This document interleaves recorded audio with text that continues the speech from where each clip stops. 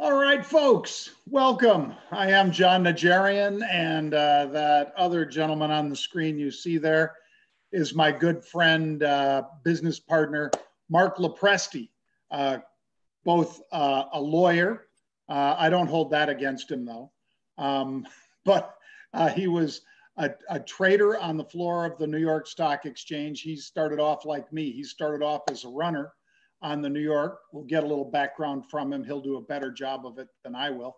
Um, but so he went from a runner on the floor there to somebody who was working with Lehman Brothers, um, going to night school, getting his law degree, um, putting together a lot of big uh, hedge funds, and still does operate that business. But also now uh, together, we've been doing a lot of alternative data with Battlefin, which is a company that he co founded with Tim Harrington, and uh, also um, IDI, a, uh, a, private equity or a venture capital firm that many of us in the uh, uh, family office space join together and look at deals and then fund some of those deals if we like them. Um, I think many of you have heard me say one of them was with Sofia Vergara uh, called Ebby, and it's a uh, women's intimates. I don't know why they're not making men's intimates, Marc. Because we can't sell them, Jon. That's why. No. um, but Marc, maybe if you wouldn't mind, let people know. I because, like I say, I know you have a rich history in New York, um, and the fact that you started on the floor, we literally started almost exactly the same as runners on the trading floors. If you could give yeah. them a little background in that, and then we'll dive into alternative data. Yeah, so terrific. Jon, thank you so much for having me. Uh, greetings to everybody that's taken the time to tune in today and watch uh, Jon and I do our thing. As he points out, I am coming to you live from what is still the financial capital of the world, New York City, Lower Manhattan. I am not standing on the Brooklyn Bridge, as the background may belie. I am social distancing and staying at home, as everybody should be doing. Um, as uh, Jon, thank you for that illustrious curriculum vitae. Most of it's true but it's usually the good part that Jon gets right. Um, so as he points out, I'm 25 years on Wall Street, 20 of which uh, as a lawyer, uh, seven or so as, a, as an angel investor and a venture capitalist. Um, and we're here today to talk about uh, the alternative data industry and a company that I am uh, very proud to have co-founded with Tim Harrington, who uh, Jon mentioned a moment ago. And, and the company, as I think many of you probably know, um, is called Battlefin. And what Battlefin does is it aggregates unique alternative data sets from all over the world and brings them together in a central place so buyers and users of alternative data can identify data sets and use cases that help make them better and smarter investors. Yep. And it's amazing stuff, folks. Um, you may have heard several times. Uh, I've referenced it on CNBC. We will be launching a product with Battlefin, with, in other words, with Marc and Tim, the co founders of Battlefin, um, cherry picking some of the best alternative data providers. They have hundreds, hundreds of alternative data providers, folks. I'll flip through a quick deck that kind of shows you guys a, a little bit about that. But when you look at who supports this, when you look at uh, Battlefin, which, as Marc and Tim both say, they started uh, on the back of a, a, napkin at a bar, just you know, saying, "Hey, what if we plugged this in and you know decided to create something out of this?" Um, it has grown from that something on a napkin in a bar to something that now has, I think, over 600 firms that provide, that plug in to the Battlefin Ensemble platform that lets people um, take a look, a sample, if you will, uh, of, of some of these alternative data sources. Some of them, folks, are wildly expensive. And they are because they can be, because A, it's very unique data that's market moving.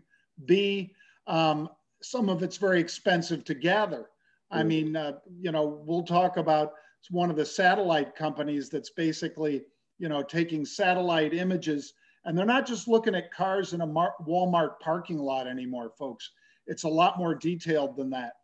uh, but it's also way beyond just credit cards and how much did somebody buy on their Visa, MasterCard, Discover, American Express, or whatever.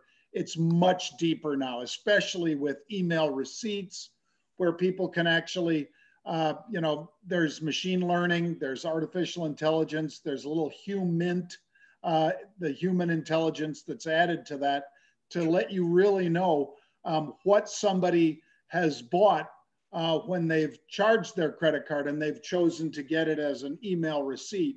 Much richer data that way than just knowing that somebody spent $1,000 at this particular retailer. You can drill down into what they bought with that email receipt and so forth.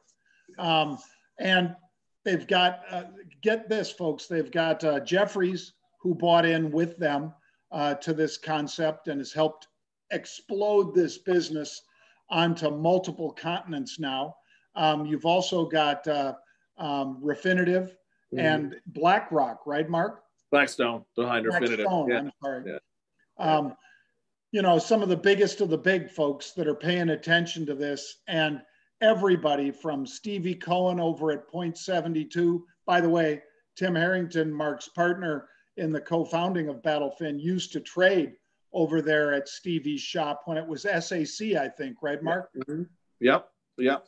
Managed. You know, Jon, it's uh, it's really interesting when when people ask me what this is about, what what is this alternative data? Um, I often explain to people that just about everybody on the planet, certainly anybody that has a smart device or an iPhone, is currently participating in the alternative data industry. Yep. And people look at me and say, well, well, you know, how is that possible? And the short version, folks, and you've heard a lot about this from the perspective of personal privacy and data protection, but everything that we do, every time we, you know, order a ride share, have something delivered to our home, uh, uh, you know, book a table on an app, um, every time we turn our phones on, it's actually transmitting our location everything that we do every day, all day, uh, forget about what we do on social media, where we're essentially asking the world to come and, and, and take uh, our data and understand more about us.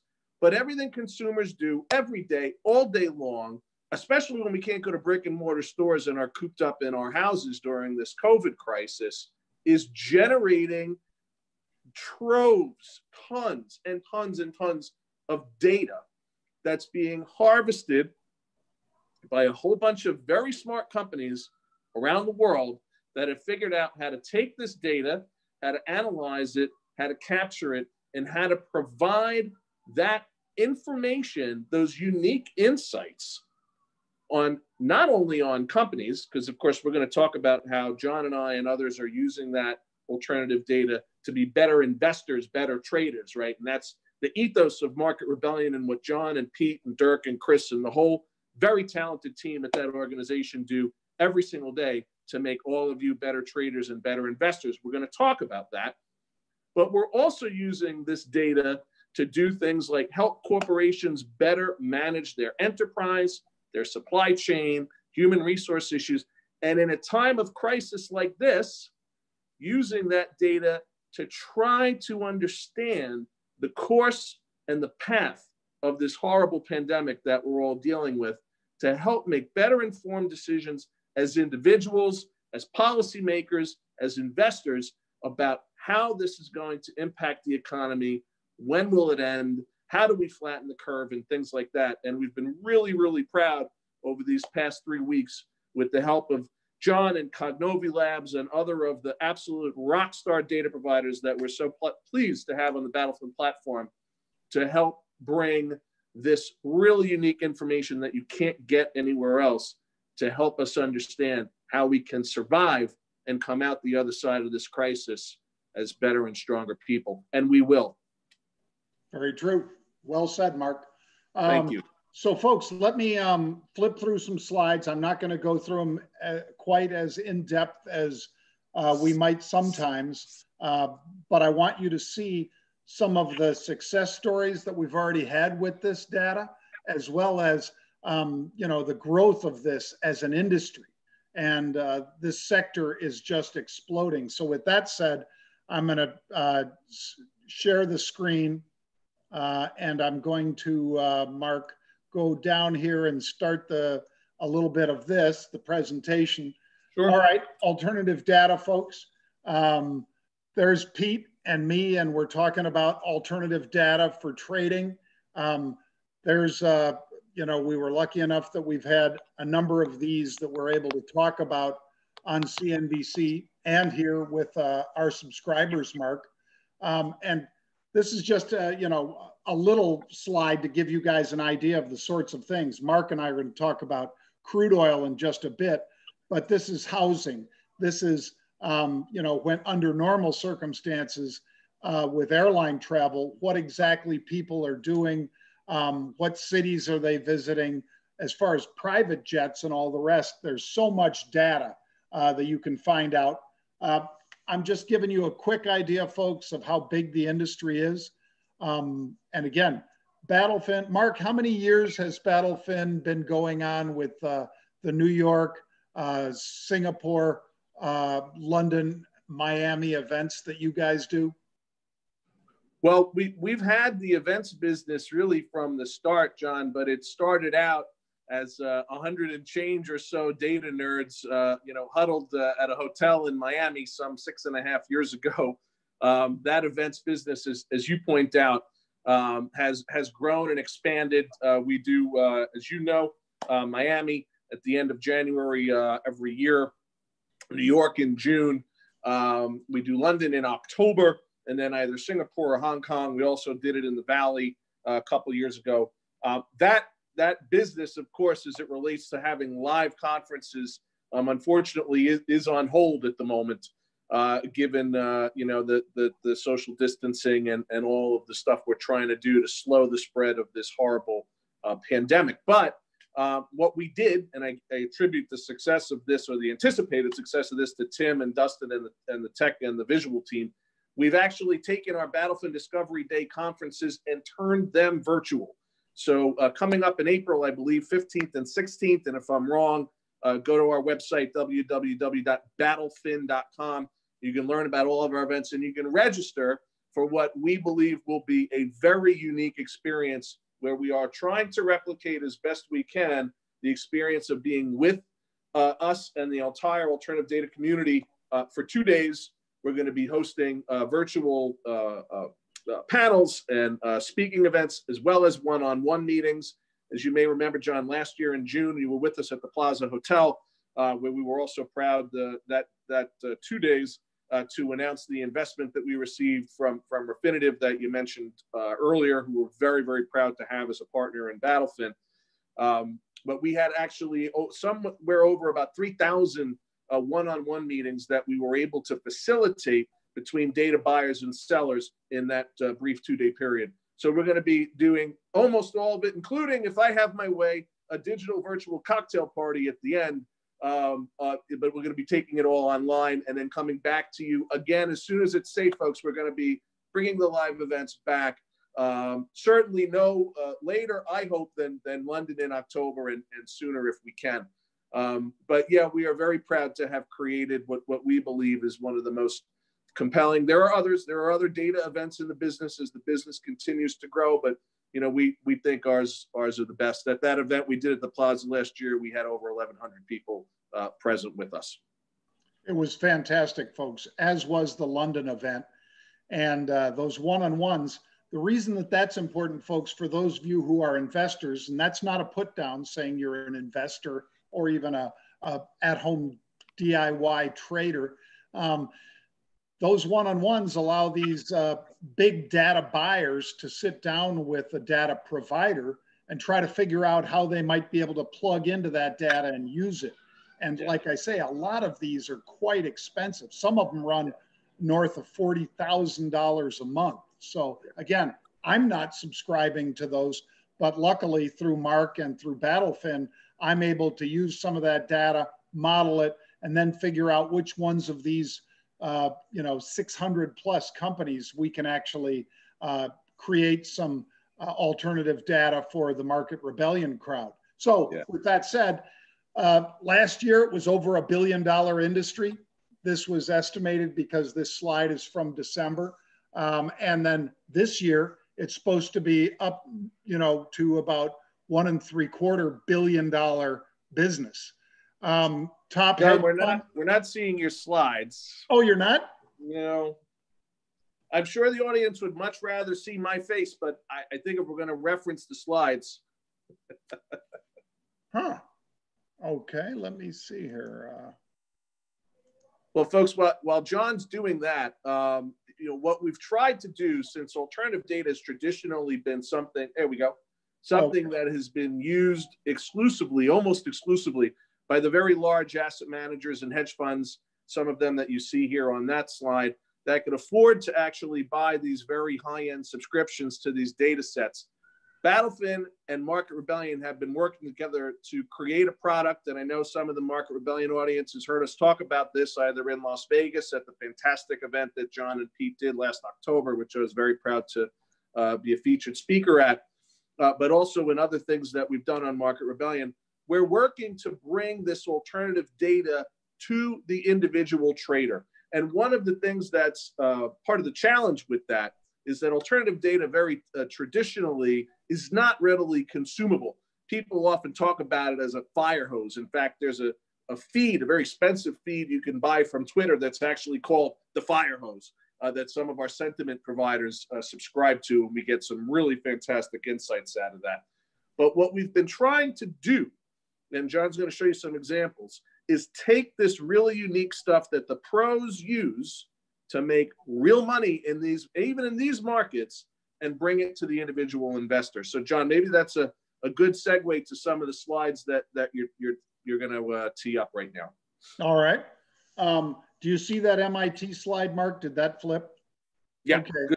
So MIT, um, their scientists have already said that alternative data beats analysts almost 60% of the time, folks. And this is by the Massachusetts Institute of Technology. Um, the reason that so many of these uh, uh, hedge funds subscribe is that there are 600 different firms, there's actually more than that now, uh, that are out there providing data uh, that, you know, the, the, great thing about the Battlefin events, it's not a, a, sales pitch, but the great thing about those events, folks, is that you can see many of those 600 plus firms in one place. Yeah. So you can pick and choose which ones really would fit your particular style if you're a hedge fund. And that's why uh, the, the room is filled with all of the, you know, it's combination of people with pocket protectors and uh, folks wearing $7,000 suits like Marc, uh, because they're there because those hedge funds are trading this data and using it to manage billions of dollars. So Orbital Insight, something we'll show you in just a bit, that's one of those companies that as the name sort of implies, these guys are looking at satellite images and determining uh, things like, okay, how, how damaged was the Saudi facility when those uh, uh, drone attacks occurred uh, a little over a year ago? Exactly how fast could they get back up? Um, when did they begin drawing down on their supplies that were above ground that people could see and they could tell by the shadows and so forth, you know, as the uh, uh, supplies being drawn down, all that kind of cool stuff. Okay. This is what a lot of that data falls into these categories. Email receipts, it's about 7%. Web traffic, which is virtually every thing that you might imagine on the web. Web data scraping, which is different, um, credit card and debit card information, and then other. Um, when you're looking at this, and the reason we have our heat seeker jet there is that you've got so many of these different data sets about what is going on with companies, um, which ones, you know, everything from job listings, store locations, you know, pricing of products, competing products, all that kind of stuff. Um, this one was interesting because, again, last year, just after the June event, Bloomberg, who had reporters at the uh, Battlefin event, yeah. a couple of which that I had met there and I'd known from television, said that, hey, hedge funds are tracking private jets to look for deals because if all of a sudden you see, you know, Buffett's private jet somewhere with another private jet, you might figure that there's a deal that could be being struck based on that. There are people who will subscribe to that. Um, here was one of the uh, alternative data times I got to mention it on CNBC um, with uh, Battlefin data. And we were saying, hey, this is where the alpha is now. This company, M Science, that again, my dog Dexter, um, M Science has put in, um, has a big investment slug from uh, Jefferies, and they've grown from just a couple folks to, I think, Marc, if I'm not mistaken, 140 people, data scientists, salespeople, and so forth at M Science. Yeah.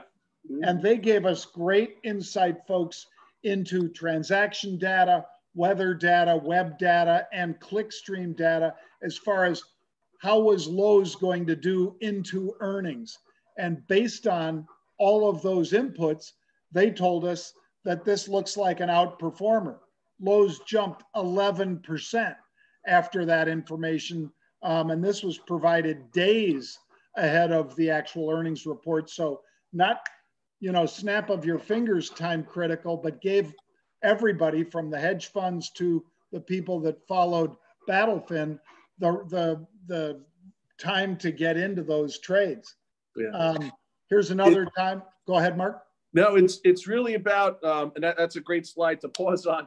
Um, it, folks, it's really about understanding what's going on when we're talking about in the context of investing and trading, right? Um, it's a, it's about understanding what's really going on with these listed companies, with these issuers, especially the big consumer names, the tech companies. What's really going on with their financials? What are they not saying in their quarterly filings? What information are the folks running those companies themselves looking at to try to understand what and predict what their earnings are going to be and represent the financial condition of the company? This is the new inside information, but legal inside information. Let me make that very clear. Hedge funds and other smart investors are more interested in understanding what these data streams are telling them about real time consumer activity, buying, selling, subscribing, unsubscribing. We're going to talk about Netflix in a minute. We're very proud uh, of the trades that Jon's going to talk about that we did in Q4 of last year around Netflix earnings, which were absolutely heart stopping. Uh, but it's it's really about understanding how to use this information. And folks, as I say a lot of times during these events, it's information that we are all helping to create every day. So why not take advantage of it to be better investors? It's about harnessing that information to anticipate how these companies are going to perform. Jon, why don't you take us into some of the Netflix stuff I think is coming up next? All right. So there you go. Um, just as Marc said, folks, where that arrow is pointing to, um, that's showing us that uh, they had actually a flat quarter. Notice the, you know, the left side of that Netflix graph is showing a very steady progression to the upside. All of a sudden, they flattened out. Um, and that was international. That's supposed to be where the growth is in Netflix. So because they flattened out, um, we wanted to basically make sure that we got into a short position with puts and so forth. And Netflix tanked after that. In fact, fell over $125 over a, I think, a 10 day period yeah. after that information came out in July. So this is, of course, after their earnings report where they basically admitted to, um, hey, yeah, in, international was uh, not exactly where we thought it would be. Then you've got something like Grubhub here. So Grubhub, um, they have a lot of competition, of course, um, because you guys know Seamless, depending what city you're in. You know DoorDash, Postmates, Uber uh, Eats, all of those are competitors to Grubhub.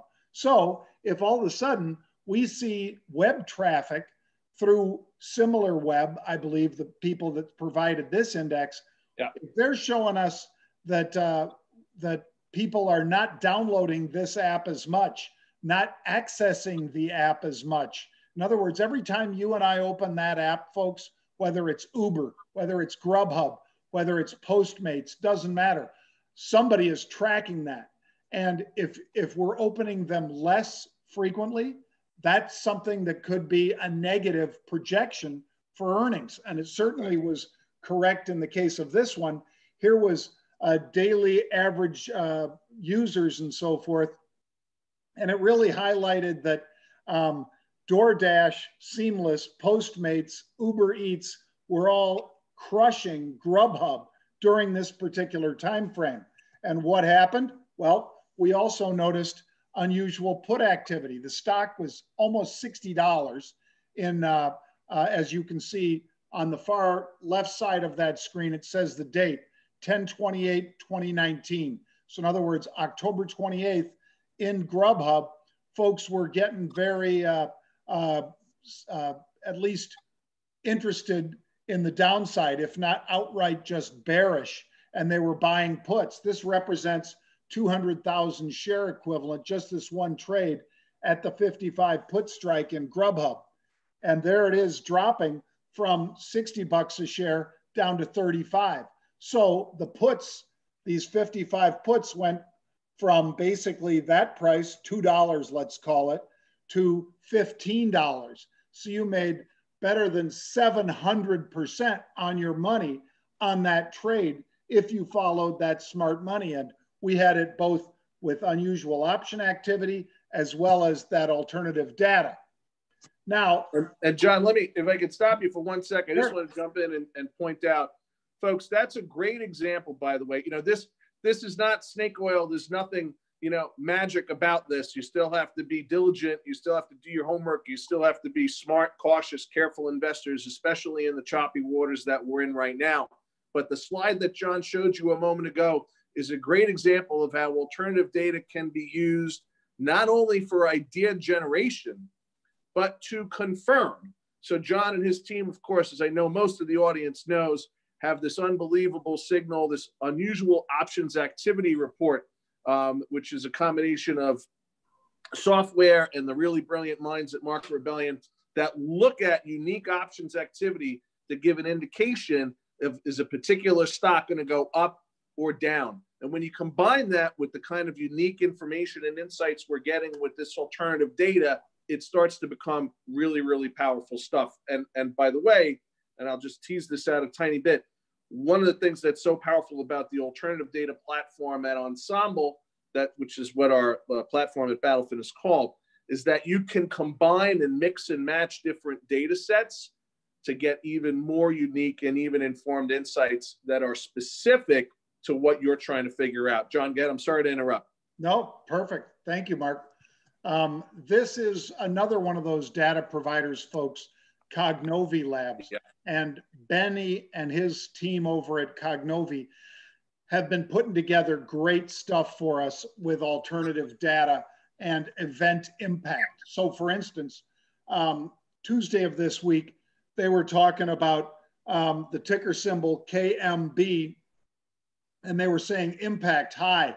Uh, and any any headlines that come out, any, uh, for instance, uh, uh market sentiment, even uh, sentiment that that you don't know that you're uh, putting out, folks. In other words, if I say something bad on Twitter, somebody could determine that yeah, that's a negative sentiment about that particular company, but there are other ways that people uh, provide that without saying it out loud. Uh, and much of that falls into the category that Cognovi tracks. And, you know, you look at the second one Wednesday this week when they're talking about Lulu, um, you know, when they're saying, hey, you know, this one particular senator sold a lot of Lulu stock, um, be- per- perhaps because she was informed as to why um, you know, the, the coronavirus was accelerating at the pace that it was and where it might be going to next. So the reason we have Cognovi up here also, folks, is that Cognovi um, has been creating a panic map for us. And that panic map, um, Marc has had conversations, I can't say whom with, but it's a network that we all know. Um, and that uh, panic index, it's great that we have John Hopkins with their fabulous map of the United States and the world. And you can see by uh, um, the size of the dot on the map how large the outbreak is and so forth of uh, coronavirus and how many hospital beds or how many people have recovered, you know, all that kind of data. That's great. But the stuff that Cognovi has drills down into the cities and can tell you in the city what's going on, how many um, cases in that city, and what's the impact to uh, economies in that city. It's just amazing stuff. Yeah, and let's and let's talk about that for a minute, Jon. Um, can you hear me? By the way, Laura's telling me I'm having some tech issues. I'm hearing you fine. Okay, great. Uh, yeah, what uh, Jon's talking about is what we've been developing with our friends at Cognovi Labs, uh, which is it's an absolutely uh, fantastic data provider that we're very happy to have on the platform. Um, that we have been specifically tracking and using alternative data, as I was saying before, to understand the path of this virus and how it's impacting not only individual names uh, and equities, but, but the economy generally. And, and what's really interesting is Cognovi first started seeing indications of uh, this uh, crisis, the pandemic, starting to reach the United States in, in uh, call it late January, around the 25th or the 26th where there was a lot of chatter on Constellation brands, believe it or not, around uh, negative sentiment around Corona beer. Um, and and Cognovi's system picked this up and started to start to look at this and say, hey, this there's something going on here. And actually, they were able, as a result of watching these alternative data sources that they track, to start to anticipate before I think a lot of others, unfortunately, including in our government, did, uh, that that this thing was coming and, and it was going to be uh, it was going to be really really bad. Um, this this Cognovi Labs uh, panic index around uh, COVID-19 is actually available uh, available through Battlefin, also through Cognovi's website, and I'd really uh, encourage folks to to go and check it out. Um, it gives an entirely different layer than what the the Johns Hopkins map, which I don't know about you, Jon. All that map does is scare the hell out of me. It's not much information I can use yeah. Um, and the key words, folks, that come up. I mean, he, they are sorting through hundreds and thousands of key words that pop up. And when one of them pops up, uh, chances are it's something that's going to move markets. That's right. Uh, and it's, uh, I love that bug or that panic index. It's just fantastic. Marc, this was a slide that you sent me from the yeah. uh, no from Clipper data, wasn't it? Yeah. Yes. From Clipper. So, folks, you know that uh, MBS, which is Mohammed bin Salman, and by the way, Marc Marc is a futures trader as well, folks. Um, MBS over in Saudi got into that big fight with Putin, and they both just started producing like crazy. And uh, the question is, at what point do they run out of storage for yeah. crude oil?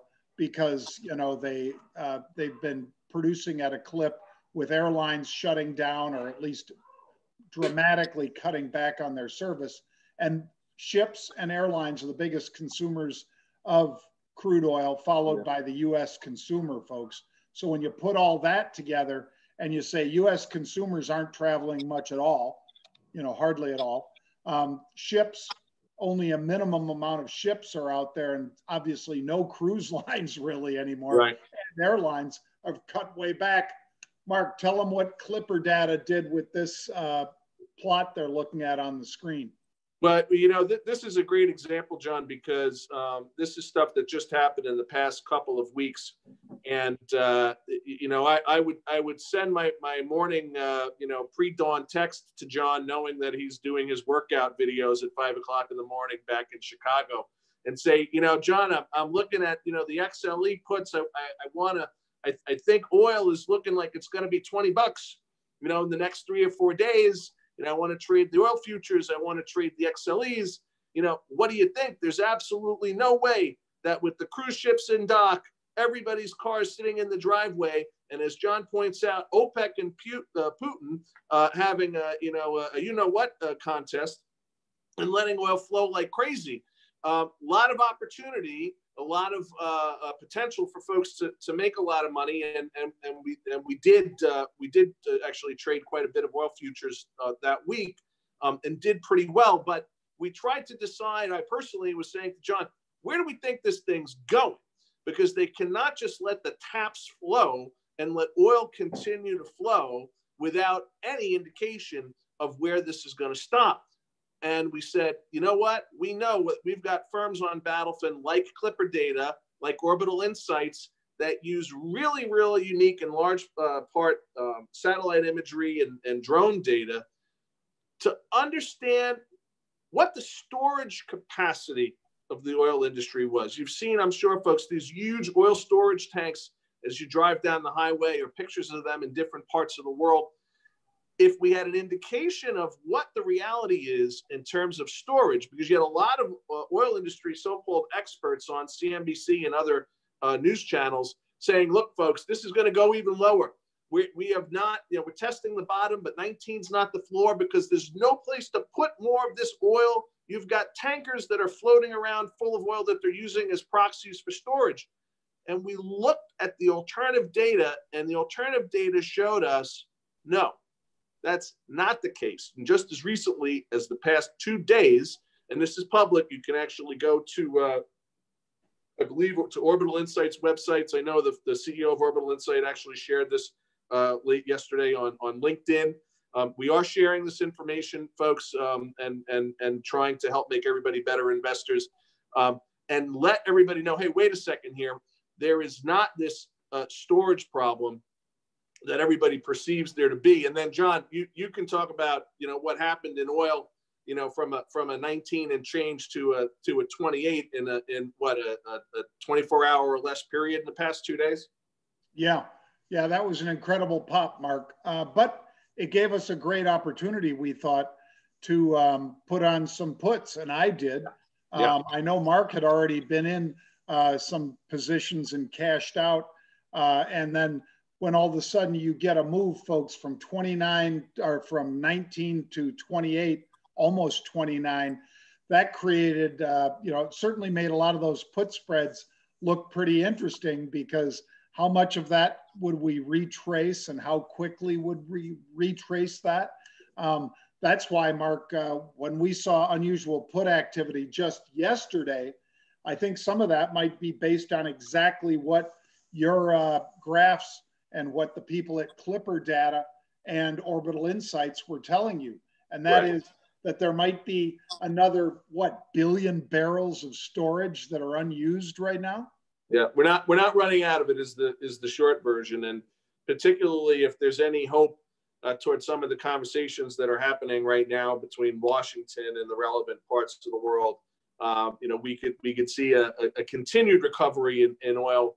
Uh, but but I, I am you know people were asking me last week you know do I think 20 do I think 19 how long do I think 20 or 19 I, I think we're away from those levels and assuming you know that things continue we're probably not heading in that same direction at, at those lows you know in the in the near future. Yeah here's another slide of that folks. And um, Marc, is this basically just showing us storage? Um, and and uh, is the, the line on the screen more or less just showing us the, the, the direction of the dots? Yeah, I, I, I believe that's true. Yes, Jon.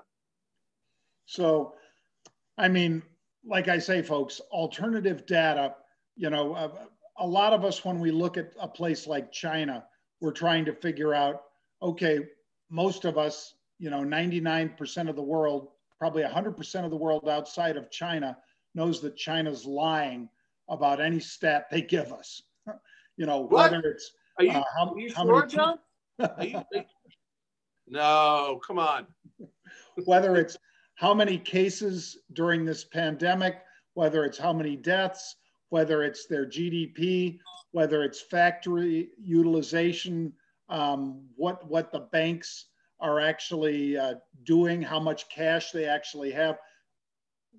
The rest of the world is very doubtful, uh, but uh, alternative data sources can even get through big uh, totalitarian regimes like that to find out what's really going on. I mean, when you're looking at, you know, loadings of jets and uh, ships that are coming into or out of a port, um, how deep is that ship in the water and all this kind of stuff, folks. Yeah. You know, there are things that um, certainly give you a nice tip off. And again, that's why, uh, you know, the likes of Citadel, who you saw on an earlier slide, or Stevie Cohen's Point 72, I would posit, Marc, that there are probably any any hedge fund that has more than 50 million in it right now probably has somebody if they're not already trading on alternative data they've got somebody exploring it and trying to start exploiting that alternative data well we you know we've certainly seen Jon as as the markets developed over the past couple of years the use of alternative data expand from just the biggest of the big boys who could afford to have you know, fully staffed data teams with PhDs, data science PhDs.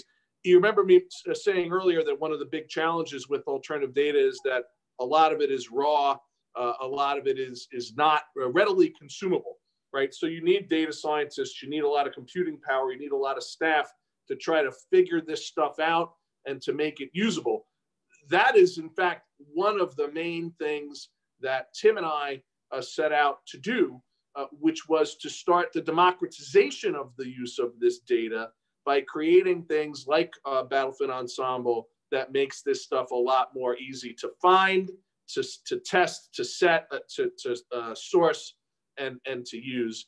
And of course, you know, as we keep teasing out, ultimate uh, iteration of that, we hope and we expect will be a product that we're going to be delivering to you, to the Market Rebellion audience and subscribers.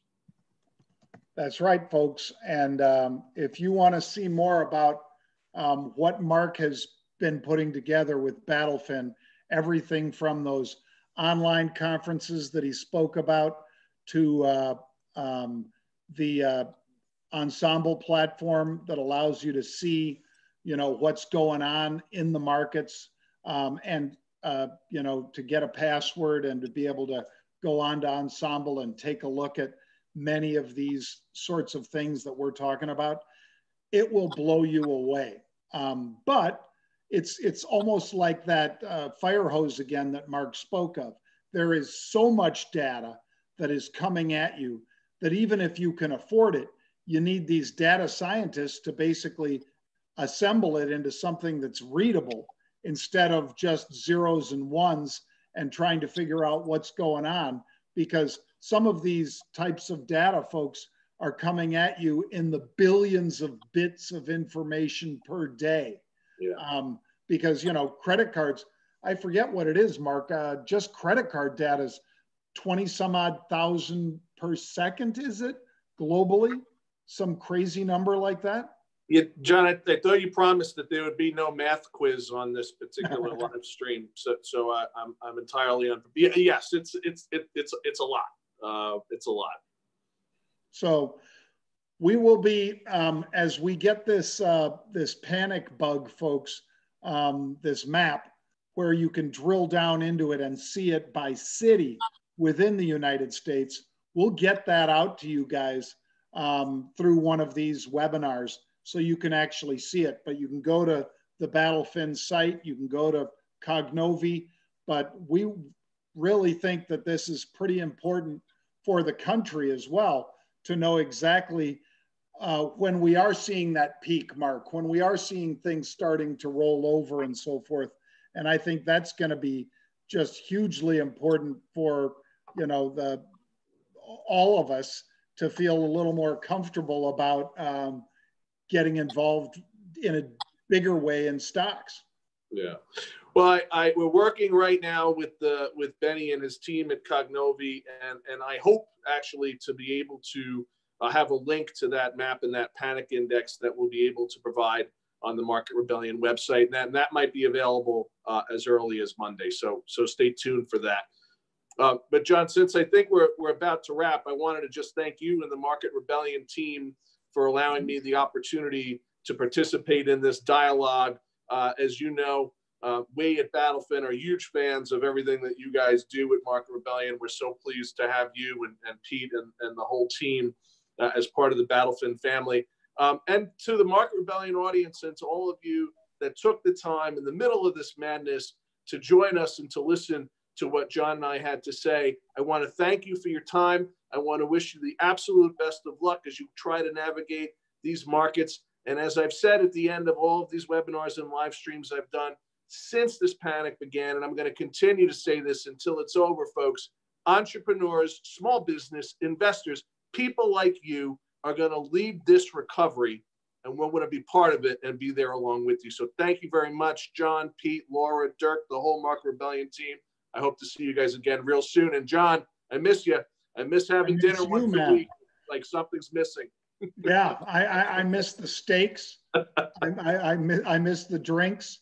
I just miss no the drinks. I don't, I don't drink. I don't know what you're talking yeah, about. I don't know what. Uh, well, we're about to start one of those in about five minutes with our with our Market Rebellion subscribers, Marc, a little virtual cocktail party. So, Marc Very nice. Battlefin folks, check it out. And he's also with the Lopresti Law Group in New York City, um, a firm that he founded. So if you're somebody who's putting together a hedge fund and you need somebody, he's your guy. Thanks, Marc. Thank you, Jon. See you soon. See you soon, sir. Thank you, Laura.